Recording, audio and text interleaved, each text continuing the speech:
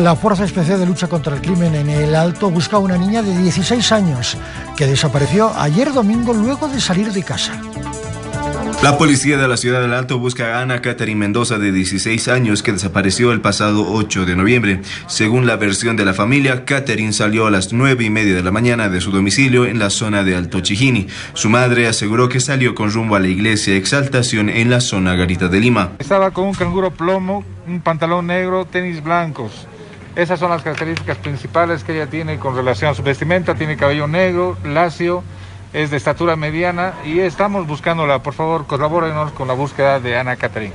Si, alguna, algún amigo o alguna persona la ha visto, eh, por favor, les rogamos que se pueda contactar con la FELCC del Alto, el 814-0247. Es un número gratuito que le va a permitir poder comunicarse y darnos cualquier dato que nos pueda hacer que esta niña pueda volver al seno familiar.